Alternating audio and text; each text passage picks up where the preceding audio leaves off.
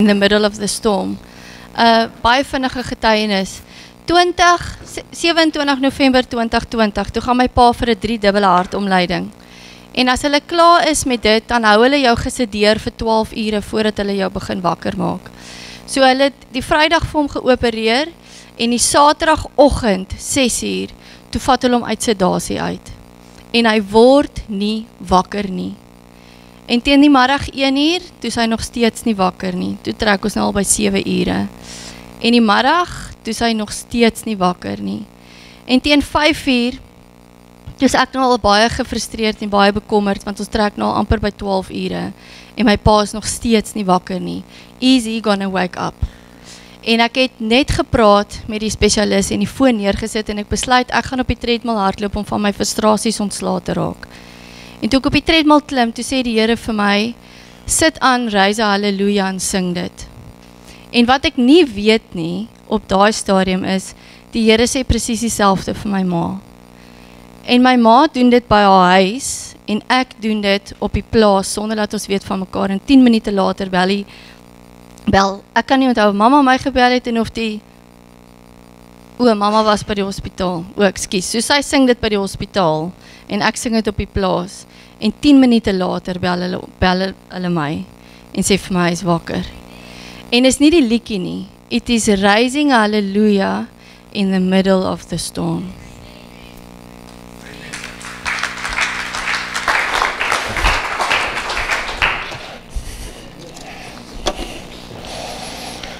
Jo. dit was dit was amazing. Dankie vir Michael en Simone en ons aanbiddingspan. Dankie vir hierdie getuienis wat jy met ons gedeel het. Die solde, dit bou ons op en dit help ons om uh, in meer geloof teenoor die Here te lewe. So dankie daarvoor. Ouens, verskriklik lekker om hier te wees. My naam is Paul vir die van julle wie my nie ken nie. Ehm um, ons het amper ons hele gesin hierso. Natasha en Christian en Nicole, miskien moet julle net opstaan dat die mense net kan sien hoe julle lyk. ja. Jy sien net drie tomaties, nê, nee, so rooi koppie op 'n lyfie. So ehm um, ons het die wonderlikste week agter die rug met die ongelooflikste gasvryheid en ons is met soveel liefde ontvang. Weereens wil ons net vir julle baie dankie sê um vir Sakkie en ek wil eintlik nie Sonja en en die hele um ouderlingspan of die die bestuurspan, leierskapspan van um Lewende Woord, Darling Gemeente, elke liewe lidmaat, um as ons julle by die straat, jy weet, eers uh raak geloop het, um is ons met soveel vriendelikheid net gegroet en dit. So dankie vir julle. Dis regtig lekker om hier te wees. Uh na hierdie week gaan ons huis toe en ons het soveel vreugde en blydskap in ons harte. So dankie vir julle en dankie dat julle uh keer op keer ons terugnooi. Ons oudste dogter is nie hier nie. Sy ons is besig om vir haar te bid. Sy's in haar finale jaar en ons hoop sy kry 'n posie by Groot Skuur Hospitaal. So julle moet saam met ons bid vir haar uh vir daai diensjaar, daai komserve jaar wat hulle wat hulle moet doen.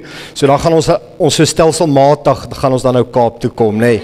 Ons stuur eers die verspieders, eers die verspieders hier na toe dat hulle kom uitkyk en so kyk hoe groot is die drywe en die heuning en al die goeters en ons vyande en dan sal ons uh plan begin plan begin beraam. Nou julle, ek gaan vandag met julle gesels eintlik seker oor iets. Ek het baie gebid oor hierdie tema vanoggend en die tema is uitbranding of is jy uitgebrand? So Jesus staan in Johannes 7 by die loofhutte fees en um, mense elke ou staan met 'n met 'n drankie in sy hand of iets te drinke in sy hand. en hy vra hierdie baie odd vraag. Hy vra ehm um, almal wat dors is, kom na my toe. En ek is so luister jy maar ek is besig met my drankie. Ek is glad nie dors nie. En ek dink by myself, die mense daar in Gauteng is erg uitgebrand. En navorsing en statistiek bewys dat mense is uitgebrand. Ehm um, maar maar ek weet nie hoe gaan dit hier nie, jy weet. So miskien tel daai statistiek en daai navorsing nie vir hierdie deel van ons land nie want ek julle lyk almal vir my heeltemal fine. Maar miskien is dit miskien staan jy met 'n met ietsie te drinke. Ehm um, Marika het my herinner ek moet die kinders toewy aan die Here nê. So ek bedoel ek moet dit nou doen. So ek moet net alles onderbreek waarmee ek nou besig is. So iets moet met 'n kind gebeur en iets moet met 'n volwassene gebeur. Dit wat ons met ons kinders doen is ons seën hulle in of ons bid vir hulle elke liewe oomblik wat ons kry. Ehm um, ek glo my kinders is op die pad waarop hulle stap as gevolg van die gebede van my ma en my vrou en ek en van ons ander familie wat baie ernstig is oor die Here en so glo ek dat die Here ehm um, toe Steven net nou met jou praat die persoon wat die leadgitaar gespeel het en hy sê die Here sal jou paai voor jou gelyk maak. Dis wat ek ook bid vir ons kinders en vir julle kinders. So, kan ek vra dat al die kinders asseblief vorentoe kom? Julle ek is die afgelope seker so 6 7 besig met 'n teksgedeelte 1 Tessalonisense 5 vers 23. Ehm um, nou die van julle wat daai teks ken, hy sê die volgende: Die Here wil ons bewaar om onberispelik te wees na gees, siel en liggaam. En wat dit vir my sê is die Here stel baie belang in jou hele lewe. Hy stel nie net belang in 'n deel van jou lewe of in 'n deel van jou week of in 'n deel van jou werk of in 'n deel van jou huwelik nie. Hy stel belang in alles en hy wil graag in alles betrokke wees. So gees, siel en liggaam en soos ek vir julle gesê het, praat ek vandag met julle oor is jy uitgebrand. So ehm um, Ek wil ek wil afskop met die volgende. Voel jy jy staan op 'n afgrond? Nou ehm um, voel jy jy jy kan dit nie meer vat nie of as daar nou nog iets met jou moet gebeur, sal jy dit nie kan vat nie. En is nooit vir my maklik om hieroor te praat nie want so so 'n paar jaar terug het dit vir my gevoel ek het 'n muur getref. Ehm um, dit het vir my gevoel dat ehm um, my my my aan die binnekant het ek dood eh, dood gegaan en ek het dit nooit sien kom nie. Ek het nooit gesien dat dit met my gaan gebeur nie. Nou ek en Natasha het inpas gemeente begin so 7 jaar terug, so ons lei inpas vir die laaste 7 jaar. Ek is die afgelope 24 jaar in voltydse bediening en ons het 'n relatiewe goeie trek rekord. Jy weet daar's geen groot immoraliteit of sonde nie. Ek is nog nooit voor 'n raad gedaag en aangekla en dissiplinêr verhoor nie. Daar waar ons gaan, hou die mense redelik van ons en ehm um, so ons het 'n goeie trek rekord as ek dit so kan sê. Ons is besig om deur die krag van die Here iets goed en mooi te bou daar in Pretoria vir die Here.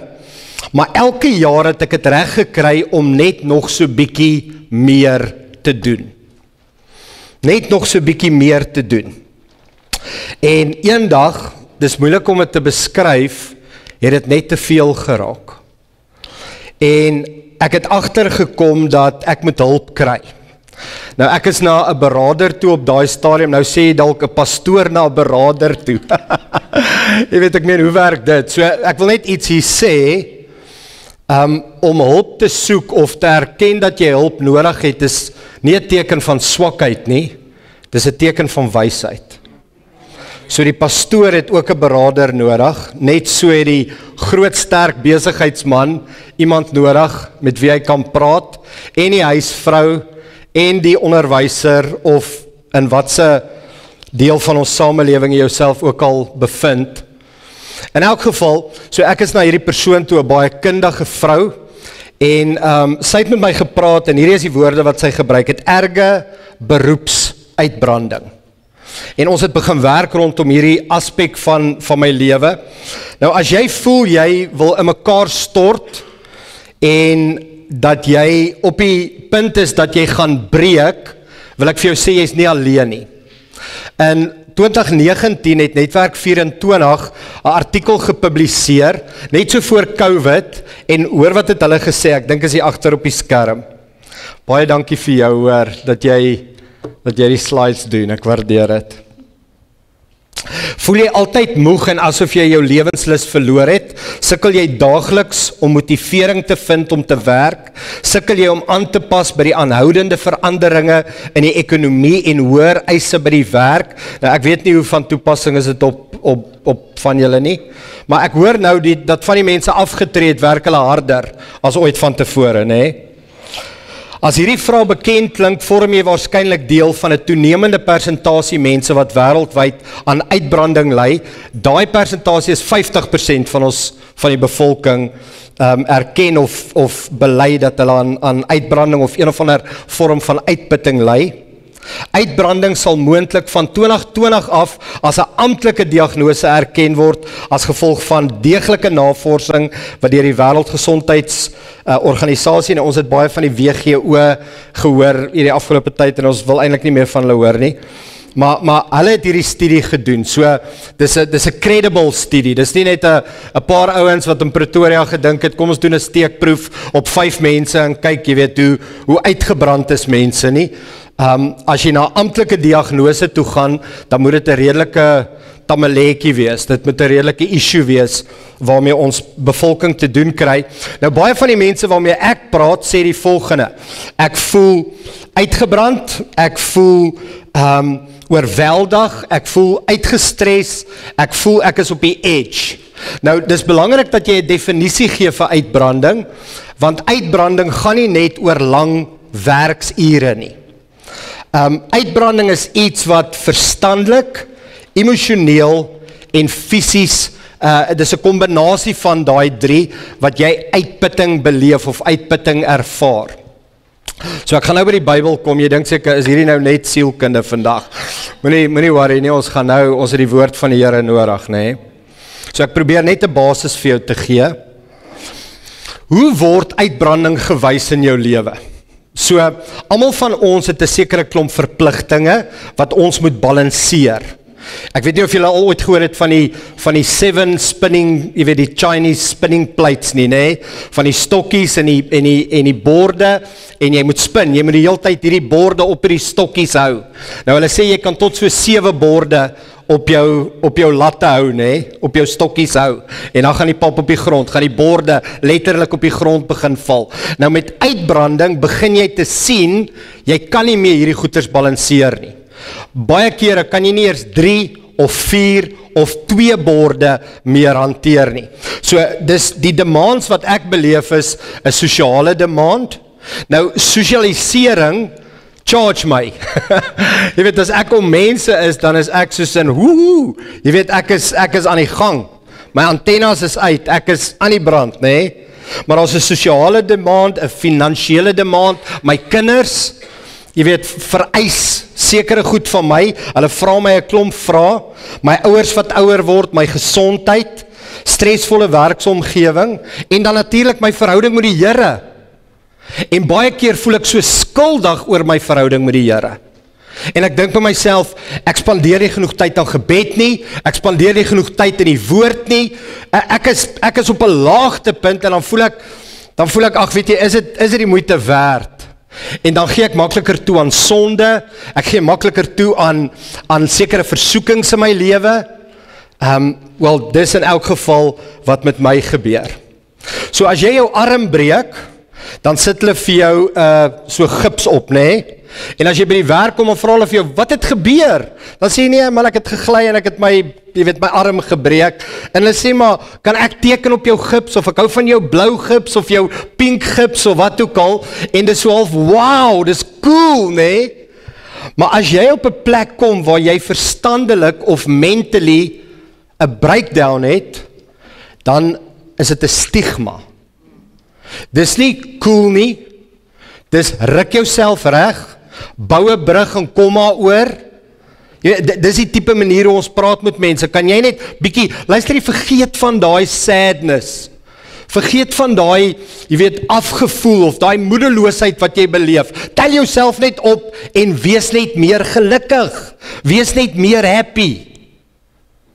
So, dan sal mense vir jou sê, Ek kan nie nog een ding hanteer nie en dan sê mense vir jou maar jy's 'n Christen, dis net stres. Bid daaroor. Vat dit na die Here toe. Dan wil ek vir hulle sê, weet jy ek's lus om jou na die Here toe te vat, nê? Nee? Jy weet, kan ek jou na die Here toe vat? Vreeslik is dit die een wat in die hande van 'n lewendige God val. Gee jou net so oor aan die Here, hoor.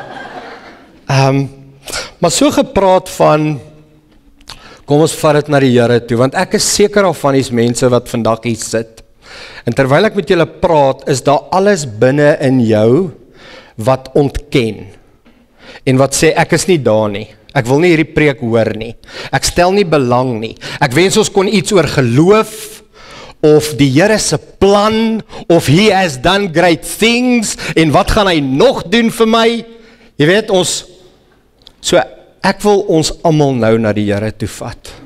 En ek wil vra dat die Here jou so sal kom ontbloot en jou hart so sal kom oopmaak vir die volgende paar minute se woorde wat hy nou in jou lewe gaan kom inspreek. Kan ons dit doen? Kom ons bid saam. Hemelse Vader, ek wil kom bid vir al my vriende en ek wil kom bid vir myself. Here, ek weet dat daar sekere areas van my lewe wat stikkend is. Here wat genesing en herstel nodig het. Here, en as ek vandag erken en bely, is U getrou en regverdig om my te vergewe en my gesond te maak, Here. Baie keer verg dit dat ek my lewe moet oopmaak teenoor ander mense en wanneer ek my swakheid teenoor ander mense bely, dan vergewe U my en U herstel my, Here. Maar baie mense leef in ontkenning. Baie mense vermy dit. Baie mense hardloop net tog op hierdie 180 km pad wat net uh, ek gaan net nog iets doen. Ek gaan net nog iets doen, Here, tot op daai punt wat ek niks meer kan doen nie.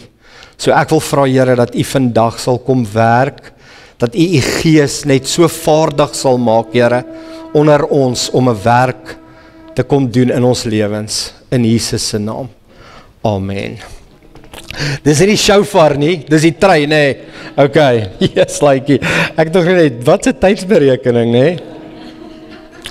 So, wat is die verskil tussen stres en tussen uitbranding. Dit is belangrik om dit te weet. Ek dink julle gaan dit nou sien. So stres is die oor die algemeen is van korte duur en verwant aan 'n tydelike projek of 'n of 'n gebeurtenis, nê. Nee, dit sal 'n 'n aanbieding wees wat ek môre moet aanbied by 'n vergadering.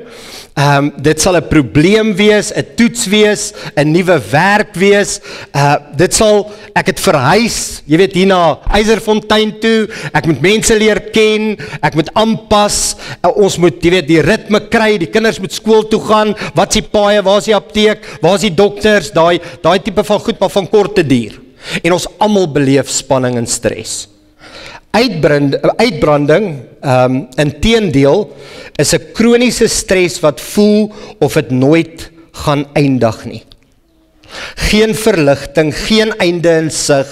Uh, jy kom op 'n plek waar jy nie meer omgee nie, jy's hopeloos, jy's binne dood en jy het nie meer fight nie. Dit voel of jy nie meer fight het nie. So, ek wil julle vat na 'n Ou Testamentiese profeet toe met die naam van Elia. Julle ken Elia, julle het al sy storie gelees. En ehm um, Elia was gestres, hy het angs beleef, hy depressie gehad, hy was uitgeput, hy was uitgebrand. Nou die korrelasie moet jy hier raak sien. Daar's geen korrelasie tussen iemand wat totaal en al uitverkoop is aan die Here en wat uitbranding of uitputting beleef nie. Ek wil hê jy moet dit jy moet dit hoor. Want as jy uitgeput raak of uitgebrand raak, dan dink jy gedagtes van ek is nie 'n goed genoeg Christen nie. Die Here stel nie belang in my nie. Hy wil nie 'n pad met my stap nie. Hoekom was hy nie daar vir my nie? Hoekom het hy nie deurgekom vir my nie? Hoekom al hierdie hoekom en waarom vra? Hier sien ons 'n man van die Here wat naby is aan God. Ek meen hy konfronteer hierdie bose koning ehm um, uh, uh, Agab En hy sê vir hom, jy het gesondig teen die Here. Hy kondig aan dat dit vir 3 jaar nie gaan reën nie. Dit reën vir 3 jaar niks nie en koning Agab is op Elia se spoor. En God het voorsien. Hy gee vir hom vleis en hy hy gee vir hom ehm uh, brood deur die kraaie. Hy het mense uit die dood uit opgewek. Hy hy het 850 valse profete doodgebid. Die Here het met vuur uit die Here uit die hemel uit het hy het hy beantwoord. En dan koning Agab se vrou. Ek weet nie of julle al van haar gehoor het nie. Jezebel, nê? Nee. Nou Jezebel is eintlik 'n gees. Uh want Jezebel kan ek nie dink was 'n bad vrou nie, maar sy het bad geraak want sy het haarself oorgegee vir 'n vir 'n bose gees en sy wil onderdruk en beheer en die laaste sê hierdie hierdie gees en baie keer kry 'n mens te doen daarmee in kerk ook en in leierskap. So sy's kwaad. Sy sê ek gaan môre môre gaan ek jou doodmaak. Nou dis ironies, Elia geniet God se beskerming, God se voorsiening, God se teenwoordigheid, die krag van die Here. 850 mans gaan dood en net deur een geïrriteerde vrou val hy uitmekaar uit. En weet jy wat, ek kry dit nogal. As jy hier uh, op pad na Eiserfontein toe of Eiserfontein toe ry is daar so kameel, nê? Nee? Nou julle weet baie van strooi af. Die ouens wat uh Nikki het my so 'n bietjie vertel van strooi en en wat ook al, maar okay. Ehm um, ons weet hoe lyk like strooi. Die laaste strooi op die kameel se rug. Weet jy, jy kyk baie keer na 'n ou, nê, nee, dan stap jy in die kantoor in. En dan kyk jy hom net so snaaks aan of of nee, Hy het laat gekom, 5 minute te laat. Dan kyk ek hom so snaaks aan. Dan dink ek vir myself, "Waar's jy?" Dit is dis eintlik in ons geval is dit 'n vrou wat by ons werk. En dan sê sy so, "My lewe val uit mekaar uit. Hoekom? Hoekom het jy so vir my gekyk?" En dan sê ek so, "Wat gaan aan met daai vrou?" Jy weet? Dis al die laaste strooi op die kameel se rug. Né? Nee? So so hierdie was so half sy laaste strooi en geen bewyse van dat Jezebel Jezebel 'n weermag stuur of hier soldate of ninjas of enige so iets nie, nê? Hy hy beleef net vrees. Dis wat hy beleef. Nou kom ons lees dit 1 Konings 19 vers 3 tot 5. Die Bybel, yes. Elia het baie bang geword en vir sy lewe gevlug. Hy het na Berseba, 'n dorp in Juda gegaan en sy dienaar daar agtergelaat. Hy self vir die woestyn 'n dagreis ver binne gegaan. Hy het toe onder 'n besembos gaan sit en gewens dat hy liewer maar moet sterf Ek het nou genoeg gehad, Here, het hy gesê, neem nou maar my lewe want ek is niks beter as my voorouers nie. Hy het gaan lê en onder die besembos aan die slaap geraak en ek dink 10 teen 1, dit was sy dit was vir hom belangrik geweest, nê. Nee, Partykeer het ons net so 'n bietjie slaap nodig. Uitbranding manifesteer op 3 plekke. In die eerste plek dit manifesteer in jou fisiese liggaam.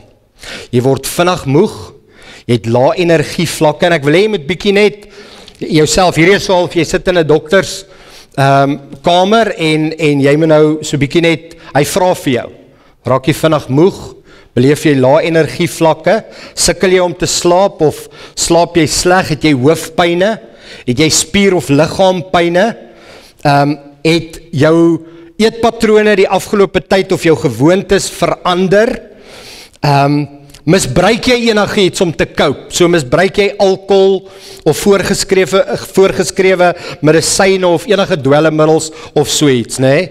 So hoe gaan dit fisies met jou? Die tweede tweede plek waar dit manifesteer, waar ons dit sien, is verstandelik. Nou hierdie is baie interessant. Aanhoudende stres het 'n impak op jou brein.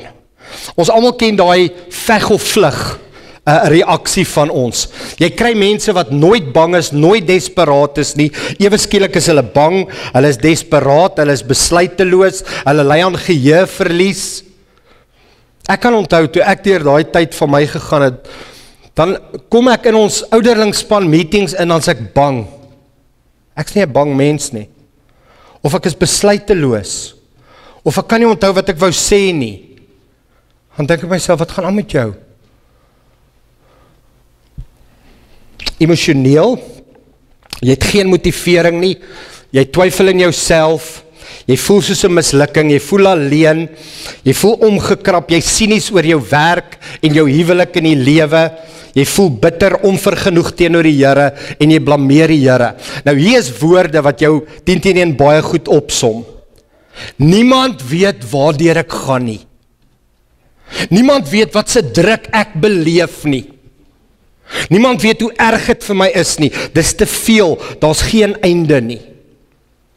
So wat ek wil doen is ek wil vir jou as jy wil uitgebrand raak, wil ek jou nou 'n resep gee. Want ons sien dit in Elia se lewe. So maak notas. Ek wil graag graag uitgebrand raak en dan doen jy net hierdie volgende goeters. So hier's die hier's die eerste ding. Hou aan om jouself in die grond in te hardloop. Ons sien Elia doen dit ongelooflik goed.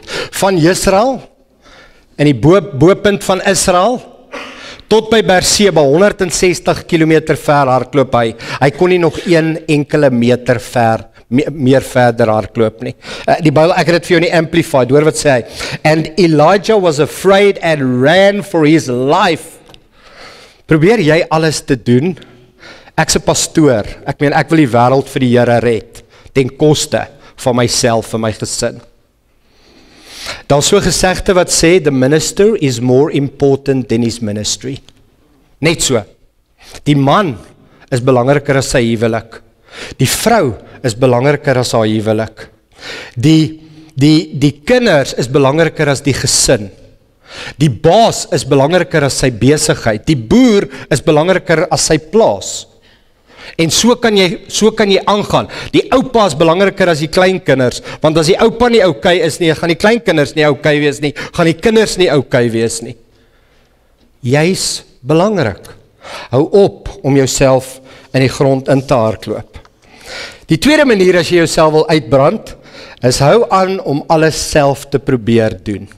Nou nou hoor wat doen Elia, hy gee vir ons 'n wonderlike uh idee hierso. 1 Konings 19 vers 3. Hy het na Berseba, 'n dorp in Juda gegaan en sy dienaar daar agtergelaat.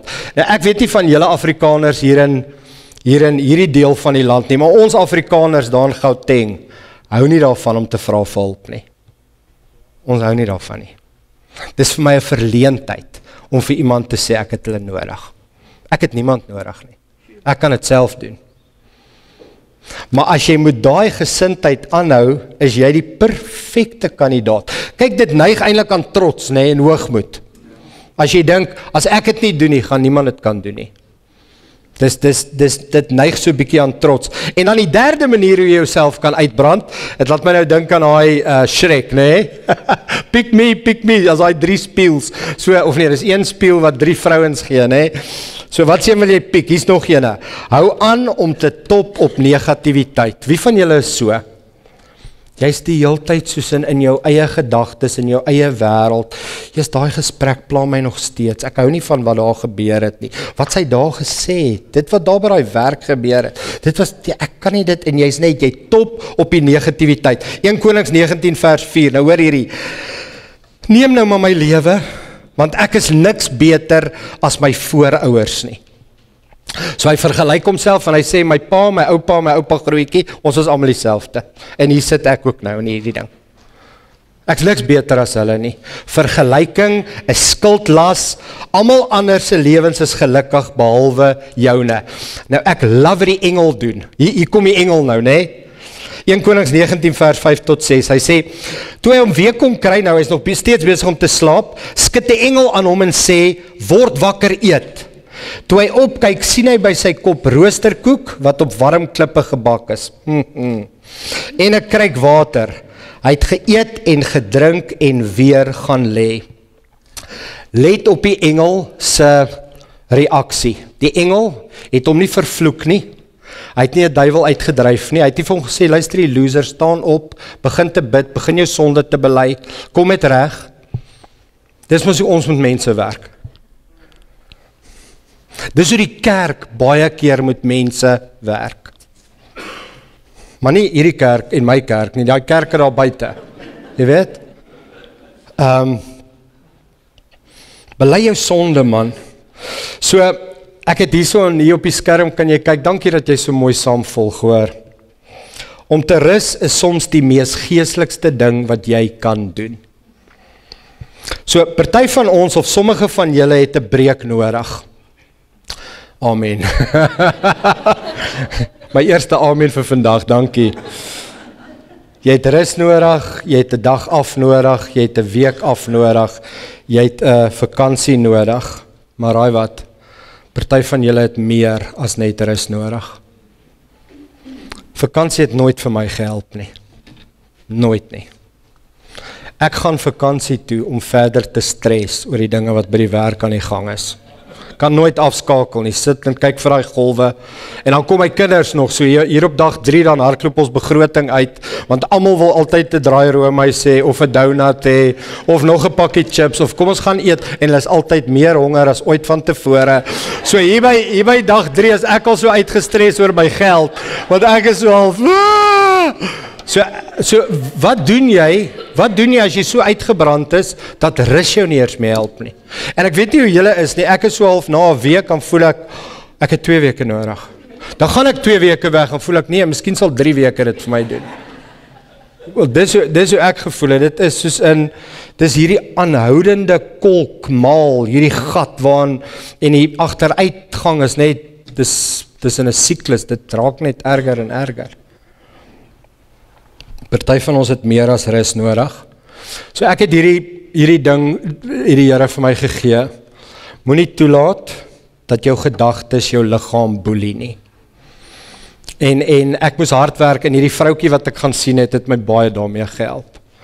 So sy het vir my gesê as jy jou gedagtes wil herprogrammeer, het jy nodig om jou gedagtes te disengage en jou liggaam te engage.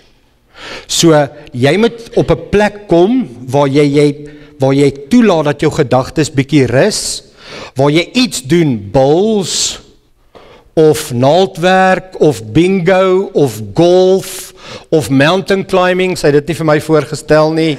Uh So sê die toue is bietjie styl. Ek dink nie, ek weet nie, weet of die klip sterk genoeg is of die rot sterk genoeg is nie. Ehm uh, maar maar een van daai goeters wat jy net kan jy doen ek weet nie dit al gehoor nie. As ek dit doen, dink ek aan niks nie. So jy jy het nodig om daai tipe van oefeninge of aktiwiteite in jou lewe in te bou. Disengage jou gedagtes, engage jou liggaam doen iets fisies. So hierdie afgelope naweek stap ek hier op 'n plaas net hier buite wat so amazing is om 'n klomp bome vir 'n klomp kere en ek fokus net op die pofadders en die rooi katte en die, die tarantale wat hier verby my hardloop, jy weet, en ek dink net, jy's ek dink nou niks nie, dis so lekker. Dit's net lekker om 'n leë kop te hê want ek's nie gewoond daaraan nie. Hoe maak jy jou kop leeg? Disengage jou kop, engage jou liggaam. Maar dan, hoe werk jou liggaam? Jy jy skakel jou kop aan en jy rus jou liggaam. So ek en Natasha het hierdie gebruik. Ons gaan 3 tot 4 keer 'n jaar gaan ons na 'n retreat center toe en ons kom 2 keer 'n jaar na die see toe. Dankie vir julle dan is dit vir ons die grootste geleentheid om net te dink en te sê wat moet gefiks word in ons huwelik. En dan ek moet vir jou sê as jy so stil raak dan kom 'n klomp van die goeters op nê? Nee? dan sê my vrou vir my actually wat sy van my dink. Ek's te bang om vir haar te sê wat ek van haar dink. Maar maar maar dan kom ons agter luister hier's 'n paar goed waaraan ons moet werk wat nie so great is nie. En dan kan ons nou weer terug gaan Gauteng toe en ons het weer 'n klomp werk wat ons kan tackle as ons daar kom. Mense ook, nê, nee, verhoudings. Hoe lank terug het jy net gaan stil sit en dink oor jou verhoudings en hoe verhoudings dalk in skerwe lê en jy dit moet probeer fix. Ehm um, ek weet dit is nie altyd so so moontlik nie. Ehm um, so ek wil ek wil afsluit 1 Konings 19 vers 11 en 12 hoor wat sê hy Maar die Here sê vir hom: "Kom uit nou, hy staan op die berg Horeb. Hy daar gaan wegkruip in 'n grot. Kom uit en gaan staan op die berg voor my die Here." Ek wil verbygaan. Skielik was daar 'n baie sterk wind wat die berg stikkend geruk het, rotse gebreek het en voor uh, voor die Here, maar in die wind was die Here nie. Na die wind was daar 'n aardbewing, maar in die aardbewing was die Here nie. Na die aardbewing was daar 'n vuur, maar in die vuur was die Here nie. En na die vuur was daar 'n fluistering in die windstilte. In die wind, God was nie in die wind nie. In die aardbewing, God was nie in die aardbewing nie. In die vuur, God was nie in die vuur nie. En ek weet julle het al julle het al hierdie preek gehoor. So hy's nie in daai ehm um, wat noem mense dit uitsonderlike nie, nê, nee, daai ongelooflike nie. Wat ek geoorweeg het toe ek so verskriklik uitgebrand gevoel het, was major changes. As jy uitgebrand is, soek jy major changes. Jy soek 'n nuwe vrou. Jy soek 'n nuwe man. Jy soek 'n nuwe werk. Jy soek 'n nuwe kerk. Jy soek 'n nuwe baas. Jy wil jou eie baas wees. Jy jy, jy soek jy soek die vuur en die aardbewing en die wind. Dan werk die fluistering nie. En die teendeel word hier bewys. Dat die Here sê, weet jy wat? Jy soek goed wat jou lewe net verder gaan dompel in gemors en chaos. Al wie jy moet soek is vir my. Dis wie jy werklik nodig het, julle.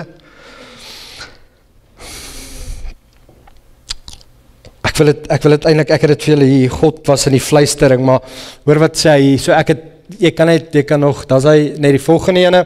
So ek het maar net God praat met jou in gewone oomblikke, vroeg in die stilte van die oggend wanneer jy wasgoed vou, doeke omruil. dit kan nou volwasse doeke of kinderdoeke wees. Uh wanneer jy liefde bewys aan 'n moeilike persoon by die werk, hy's net so in die dood doodgewone goeters. En dan wil ek hierdie groot uitnodiging wat Jesus vir ons kom gee het. Dis die laaste teks wat ek wil lees en dan wil ek vir julle bid. Nou, hoe bid 'n mens vir iemand wat uitgebrand is? Dit laat my so dink. Ek weet nie of julle kan al ooit gehoor het van pastoor Gerber nie. Hy was in die AGS, hy het bekend gestaan as die leeu van die Wes-Transvaal. Hy het ook so gepraat. Nee, hy sou julle nou wakker gehou het vanoggend. Maar in elk geval, hy maar uit altyd 'n uitnodiging gemaak na die tyd vir mense, hy bid vir mense en hy sê kom vir enigiets uit, vir enigiets vandag. En die mense kom uitgestap en daar kom so vet groot ou, kom uitgestap en hy kom staan voor hom. Hy sê pastoor bid vir my vir gewigsverlies. Pastoor, die pastoor het baie geloof gehad. Hy het gesê broer, ek gaan vir jou bid. Hou jou broek vas.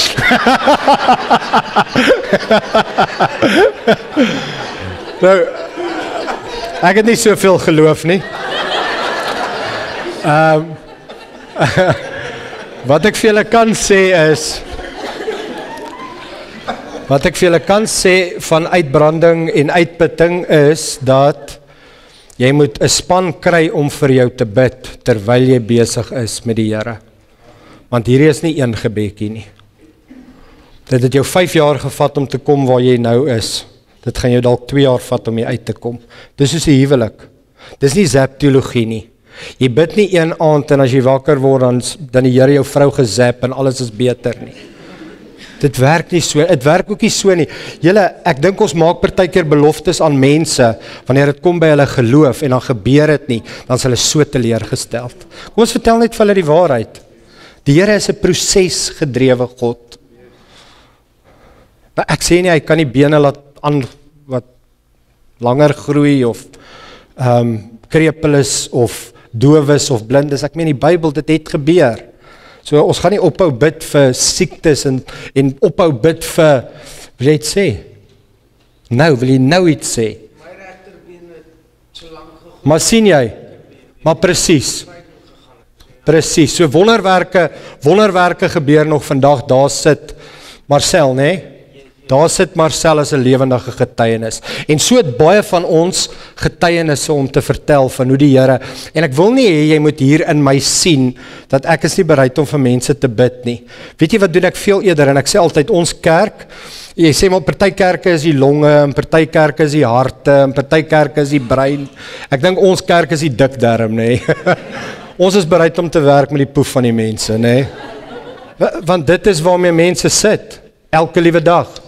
En as jy nie bereid is om 'n pad met God of met mense te stap nie, dan is jy nie bereid om te sien hoe die Here wonderwerke gaan doen nie. Want dis hoe die Here wonderwerke doen oor tydperke en baie keer oor jare. So hier is die laaste teks, julle Matteus 11 vers 28 tot 30. Ek lees vir julle in die message. Dis daai ehm um, almal wat moeg en oorlaai is, kom na my toe. Ek gaan vir julle rus gee. Maar hoor die message. Hy sê Are you tired, worn out, burned out on religion? En toe ek vir my, maar nou nie ek's nie 'n ketter of so nie. Ek het net twee reeltjies bygeskryf, maar dit staan nie in jou Bybel nie. Ek het dit net vir myself by gaan skryf want dis hoe die Here met my gepraat het.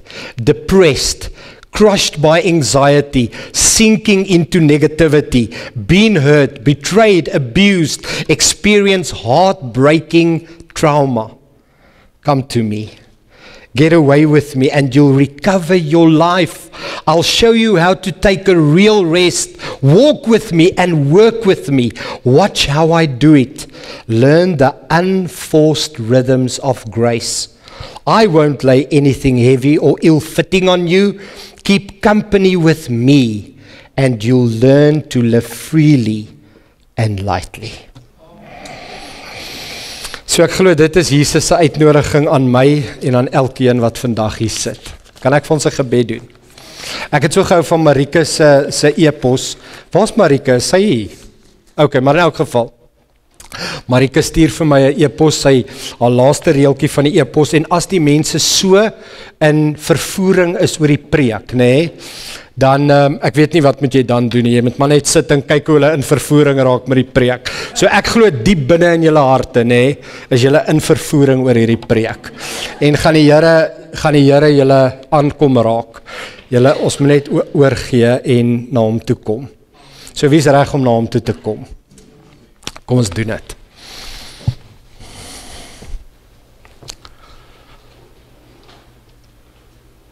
Here, ek wil vandag wil ek sê dat ons dit u so nodig en u beskryf ons so fenomenaal as u sê almal wat uitgebrand is, almal wat uitgestres is, almal wat trauma beleef of negatief is of uitgeput is, almal wat seer gemaak is of te nagekom is almal wat desperaat voel of bang is almal wat angstig is Here ons kan na u toe kom en u gaan vir ons kom rus gee ware rus.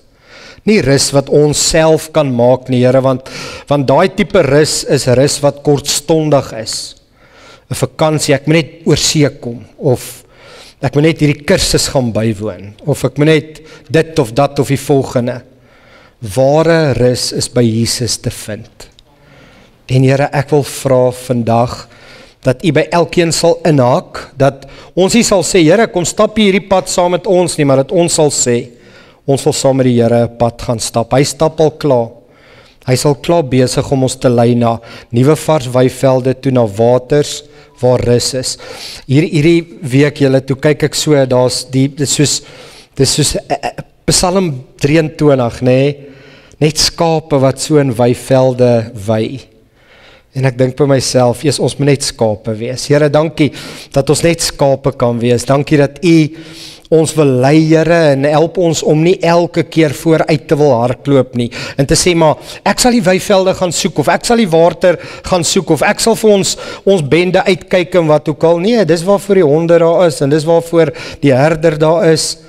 Here ons neem heeltemal te veel aan. Ons doen meer as wat u van ons verwag. So ek wil vra Here dat ons sal rustig raak en sal weet dat u goed is en dat u ons wil kom herstel en genees Ek eer U daarvoor. Ek bid vir die genesing vir elkeen van ons in die naam van die Vader en die Seun en die Heilige Gees. Amen. So ons is besig net 'n laaste ding. Dankie julle vir die geleentheid. Dit was weer eens net so amazing geweest. Um Uh, uh, ons het ons is besig om so pad met ons eie gemeente te stap en toe ek vir ons gemeente sê ouens luister jy as daar iemand is wat hulp nodig het jy weet dan dan kom na ons toe laat ons jou kan help. So hier's oor as meer as genoeg kundige mense wat jou kan bystaan, wat vol is van die Heilige Gees, wat jou kan begelei in 'n proses en 'n pad met jou kan stap. So ek wil jou vra, moenie hier uitstap en sê flip, wat moet ek nou doen nie? Gaan na iemand toe, hardloop na iemand toe wat bietjie verder die pad gestap het as jy en wat ehm um, wat 'n lekker pad met die Here stap. OK. Great. Dankie julle. Dit was awesome geweest. Bless julle. Mooi bly.